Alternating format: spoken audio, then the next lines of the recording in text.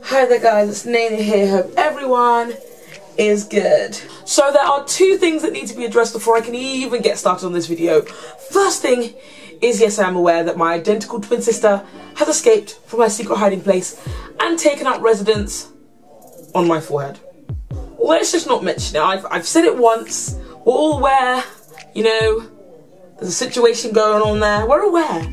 We're aware. Let's let's not talk about it again, okay? We don't want to talk about it. You know what?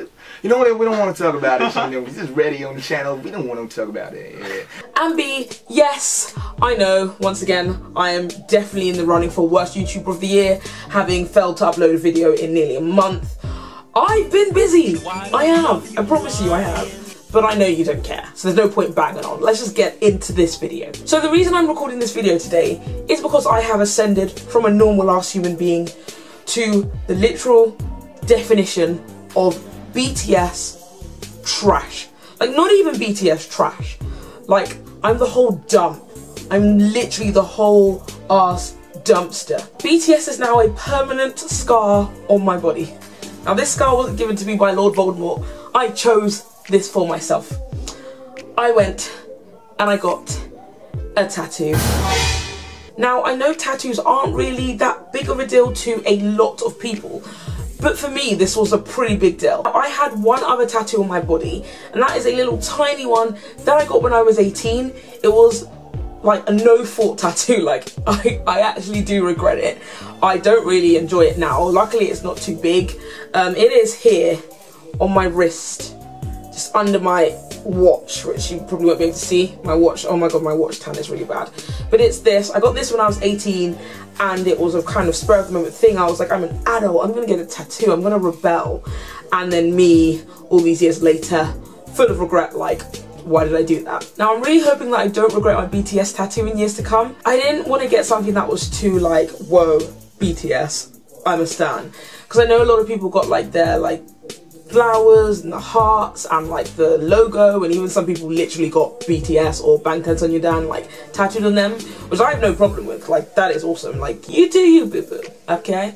But I didn't want to get anything that was like you know too bait BTS you know? Um so I got something that is a message that I really appreciate but it's also BTS lyrics. Now I've been banging on too much about this tattoo I think it's about time I actually show you what I got. Oh hell no! That was a lot less sexy than I thought it would be. This is my BTS tattoo.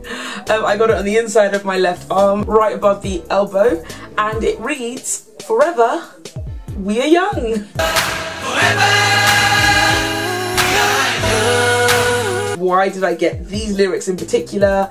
The placement, things like that. The reason why I decided to get the lyrics Forever We Are Young uh, from the song Young Forever uh, tattooed on me is because of day two at Wembley. Now anyone that's followed me for a long time knows that I tend to stan people often. It's not like BTS the first people I've ever stand. I used to be a crazy hardcore 1D stan, and then obviously I was a Harry stan, and now I'm a BTS stan. Don't go thinking I'm changing my alliances all the time. I stand One Direction for like seven years, hardcore, and then of course I stand Harry. I still stand Harry, he's just inactive at the minute. Anywho's, um, I was contemplating getting tattoos to do with 1D and Harry years ago, but I never ever went about it. Um, the reason why I actually went about getting this BTS tattoo is because BTS really, really do mean a lot to me, like a lot. Um, they helped me get through some of my hardest ever times. Um, particularly last year, I had a pretty down year for me. It wasn't a great year. I was really sad, really depressed. There was a lot going on. And to be 100% real with you guys, if it wasn't for BTS, I don't know if I would have made it through last year. Genuinely, genuinely. It was just a really hard year for me. Um, and they were the only things that kept me going, kept me sane, kept me happy, helped me make new friends, and you know, things like that. The Wembley show was huge. Um, and obviously I was so excited for the show, and then we all know what happened on day two.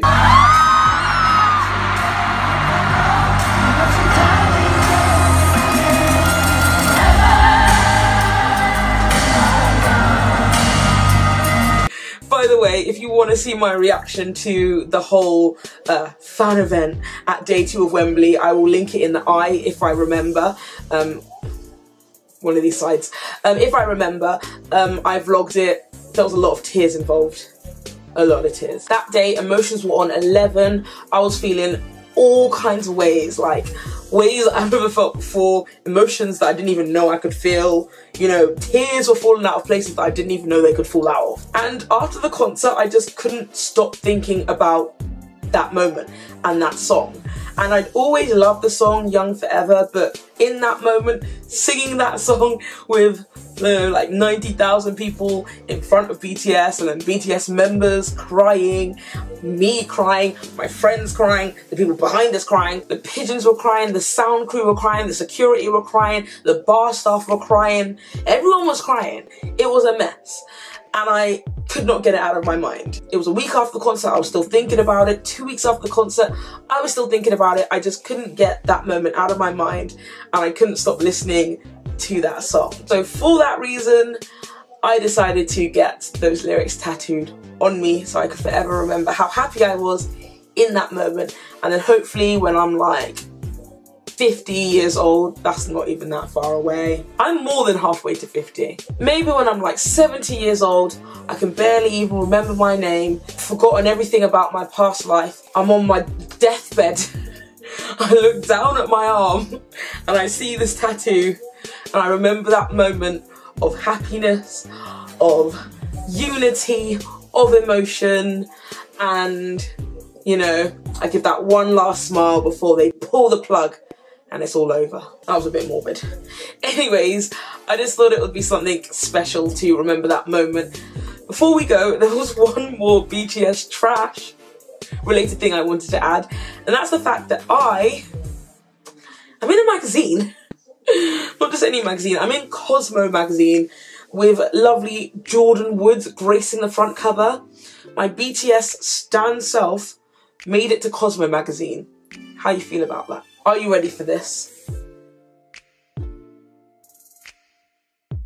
Before anyone drags me, they made me do a lot of poses that I wasn't proud of. Luckily, the worst ones weren't put in the magazine. They made me do things to a Yoongi cardboard cutout that I honestly honestly will never live down. But regardless, they made me wear my self-made BTS t-shirt, yielding my army bomb, in the true army trash I really am. Now, a couple of pages after that, there is my interview. I'm not gonna lie, I do not like the interview. A lot of what I said was one, taken out of context, two, um, misquoted, and three, lies. so a lot of the interview is completely untrue, but you can see my photos there so they included photos of my trip to Seoul, as well as of course this Yoongi cardboard cutout in the back as well. One of the only good things that came out of this interview was the fact that I got to keep Yoongi. I now own a full-size Min Yoongi cardboard cutout. I will forever have Yoongi standing over me and smirking away. So yeah, that is about it from me, from Yoongi, from everyone. Anyway, if you enjoyed this video, please do give it a thumbs up. Um, if you would like to stand out with me, feel free to follow me on my Stan Twitter. I have a BTS account and the username is currently Gryffindor Yoon. Um, I will leave it below. I may change my username later. I changed it previously. It used to be Amphamanteji. It also used to be Not Today Tay. I continually change the username, but it's currently Gryffindor Yoon, and it should be in the bio below. So please give it a follow. If you were not a crazy BTS stan like me, feel free to follow my regular Twitter, which is Neneh Trainer, and my Instagram as well, which is also Neneh Trainer. And yeah, please give the video a thumbs up. Make sure you're subscribing for more Neneh and Yoongi content and I will see you in the next video. Bye. Say bye. Say bye.